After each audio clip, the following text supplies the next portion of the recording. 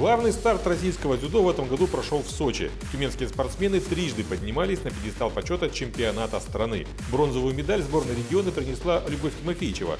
В утешительном финале категории до 57 килограммов она была сильнее Натальи Елкиной из Красноярского края.